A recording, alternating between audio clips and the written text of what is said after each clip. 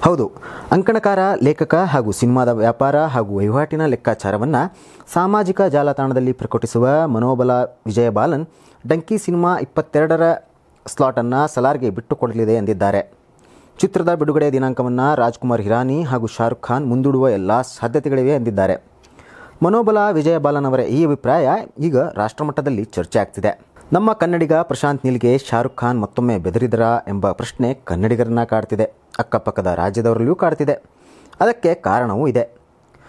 ಹೌದು, ನಿಮಗೆ ನೆನಪಿದ್ದರೆ ಎರಡು ಸಾವಿರದ ಹದಿನೆಂಟರಲ್ಲಿ ಶಾರುಖ್ ಅಭಿನಯದ ಝೀರೋ ತೆರೆಗೆ ಬಂದಿತ್ತು ಅವತ್ತು ಇದೇ ಝೀರೋ ಎದುರು ಕೆ ಜಿ ಎಫ್ ಮೊದಲ ಭಾಗ ಬಿಡುಗಡೆಯಾಗಿತ್ತು. ಇನ್ನು ಕೆ ಜಿ ಎಫ್ ಸಿನಿಮಾನ ಆಗ ಅನೇಕರು ಹಗುರವಾಗಿಯೇ ತೆಗೆದುಕೊಂಡಿದ್ದರು.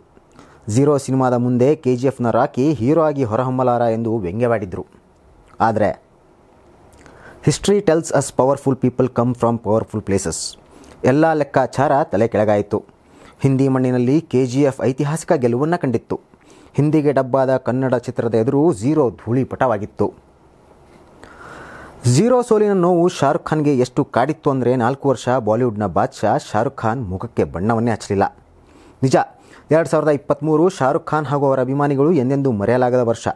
ಒಂದೇ ವರ್ಷದಲ್ಲಿ ಎರಡು all time blockbuster cinema ಕೊಟ್ಟ ಹಿರಿಮೆಗೆ ಶಾರುಖ್ ಖಾನ್ ಪಾತ್ರವಾಗಿದ್ದಾರೆ. ಡಂಕಿ ಸಿನಿಮಾ ಮೂಲಕ ಒಂದೇ ವರ್ಷದಲ್ಲಿ ಹ್ಯಾಟ್ರಿಕ್ ಹೊಡೆಯುವ ಕನಸಲ್ಲೂ ಇದ್ದಾರೆ. ಆದರೆ ಮನಸ್ಸಿನ ಯಾವುದೋ ಒಂದು ಮೂಲೆಯಲ್ಲಿ ಶಾರುಖ್ ಖಾನ್ಗೆ ಚಿಕ್ಕ ಅಳಕು ಇದ್ದರೂ ಇರಬಹುದು. ಗೊತ್ತಿಲ್ಲ. ಐದು ವರ್ಷದ ನಂತರ ಮತ್ತೆ ಪ್ರಶಾಂತ್ ನೀಲ್ ನಿರ್ದೇಶನದ ಸಿನಿಮಾ ಎದುರು ತಮ್ಮ ಸಿನಿಮಾವನ್ನು ಬಿಡುಗಡೆ ಮಾಡಿದರೆ ಸಂಪೂರ್ಣ ಸೋಲದೇ ಹೋದರೂ ಅಲ್ಪ ಸ್ವಲ್ಪ ನಷ್ಟ ಆಗಬಹುದೆಂಬ ವಿಚಾರ ಶಾರುಖ್ ಖಾನ್ಗೆ ಮನವರಿಕೆ ಆಗಿದ್ದರೂ ಆಗಿರಬಹುದು. ಈ ಕಾರಣದಿಂದಾಗಿ ಶಾರುಖ್ ಖಾನ್ ತಮ್ಮ ಡಂಕಿ ಚಿತ್ರವನ್ನು ಮುಂದಿನ ವರ್ಷಕ್ಕೆ ಮುಂದೂಡುವ ನಿರ್ಧಾರಕ್ಕೆ ಬಂದಿದ್ದಾರೆ ಎಂಬ ಮಾತುಗಳಿಗೆ ಈಗ ಮನೋಬಲ ವಿಜಯ್ ಬಾಲನ್ ಅವರ ಟ್ವೀಟ್ ಎಡೆ ಮಾಡಿಕೊಟ್ಟಿದೆ ಎಲ್ಲೆಡೆಯೂ ಇಂದು ಇದೇ ವಿಚಾರ ಚರ್ಚೆಯೂ ಆಗ್ತಾ ಇದೆ. ಇನ್ನು ಇದೆಲ್ಲದರ ನಡುವೆ ಬಾಲಿವುಡ್ ಸಿನಿಮಾಗಳ ಆಗು ಹೋಗುಗಳ ಬಗ್ಗೆ ವಿವರಗಳನ್ನು ಸಕಾಲಕ್ಕೆ ನೀಡುವ ಬಾಲಿವುಡ್ನ ತಜ್ಞ ತರಣ್ ಆದರ್ಶ್ ಡಂಕಿ ಸಿನಿಮಾದ ಬಿಡುಗಡೆ ದಿನ ಮುಂದೂಡಿಲ್ಲ ಎಂದಿದ್ದಾರೆ. ಎಲ್ಲವೂ ಸರಿಯಾಗೇ ಇದೆ. ಮೊದಲು ಅಂದಂಕೊಂಡಂತೆ ಡಿಸೆಂಬರ್ ಇಪ್ಪತ್ತೆರಡಕ್ಕೆ ಚಿತ್ರ ಸಲಾರ್ ಎದುರು ತೆರೆಗೆ ಬರಲಿದೆ ಎಂದಿದ್ದಾರೆ. ಸದ್ಯದಲ್ಲಿಯೇ ಡಂಕಿ ಚಿತ್ರದ ಟೀಸರ್ ಕೂಡ ಬಿಡುಗಡೆಯಾಗಲಿದೆ ಎಂದಿದ್ದಾರೆ. ಹೀಗಾಗಿ ಡಂಕಿ ಚಿತ್ರದ ಬಿಡುಗಡೆ ವಿಚಾರದಲ್ಲಿ ಅಭಿಮಾನಿಗಳಿಗೀಗ ಗೊಂದಲ ಕಾಡ್ತಿದೆ.